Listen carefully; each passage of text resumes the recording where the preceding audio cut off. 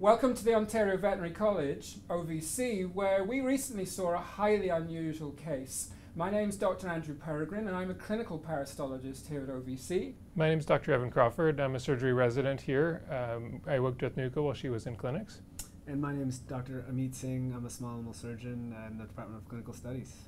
Back in the fall of 2014, I received a phone call from one of OVC's recent grads saying that he was examining a dog called Nuka who had very dark red urine. He'd taken some pictures under a microscope, sent them to me, and when I looked at them, there were eggs present that looked very characteristic of a highly unusual parasite, the giant kidney worm, the largest parasite that occurs in any animal. Since this was so unusual, I contacted my two colleagues here to see if they'd be interested in carrying out the surgery uh, and they can tell you what subsequently happened. So we saw Nuka on an appointment. We talked about her history and went through everything that she'd done so far. Uh, we talked about what we wanted to do for her in terms of figuring out where exactly those worms had spread to and talking with the owners about what we had to do for the disease she had.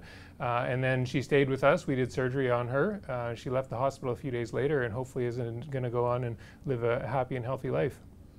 So why don't we take a look at some of that video right now? As mentioned, the veterinarian that phoned me up had collected red urine from Nuka, put it under a microscope, and saw these very characteristic eggs of the giant kidney worm um, present in large numbers. And it was because of that he referred it, the dog to the OVC, where ultrasound was carried out on the abdomen of the dog. And this is an image of Nuka's right kidney. Multiple cross sections of parasites are shown by these arrows. And what also was observable was that almost all the normal tissue of that kidney had disappeared, and therefore it did need to be removed from the dog. You can see here we're prepping Nuka for surgery. She's at a sterile clip and she's getting draped. And then we started off with a laparoscopic approach. So using a small camera through a, a miniature portal to have a look inside of her abdomen and, and, confirm again what exactly was going on. You can see we're getting ready to go through the body wall and we put a port in. And then we use a small camera to have a good look around in the abdomen. You can see in her case that we found multiple egg deposits from the, the parasites within her abdomen as well as a free worm within the abdomen. Very characteristic in appearance, um, dark to bright red, and almost, well, at least a half a centimeter in diameter.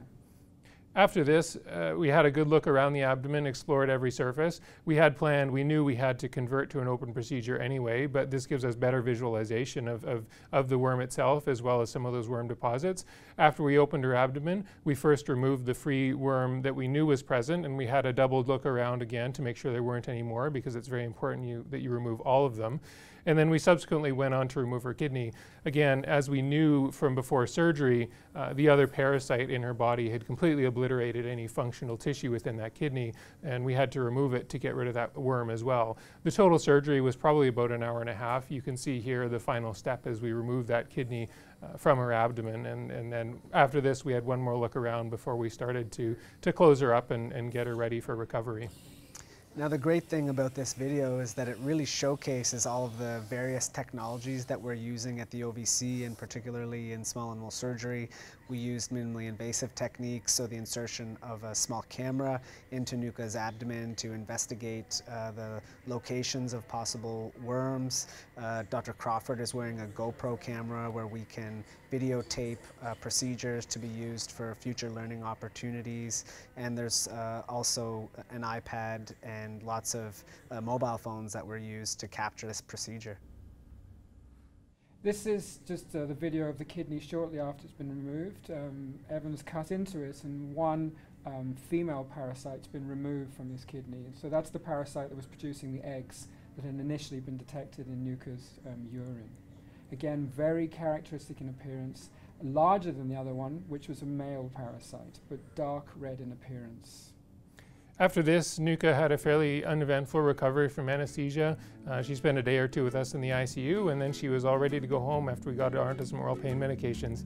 You can see here clearly happy to see her owners and back being outside, and, and appears to be at least appreciative of everything we did for her while she was in hospital. So always nice to see uh, some of the patients that we uh, that we do surgery on, you know, appreciate our work and and uh, and happy to be leaving the hospital. You know, hopefully that we don't have to see them again. So definitely getting a little bit of love from her.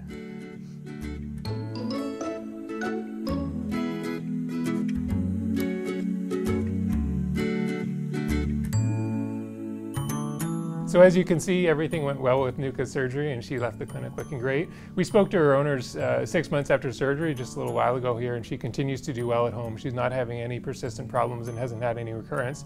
You can see the video demonstrates some of the newer techniques we're, we're able to use in hospital here and help out some of our canine patients.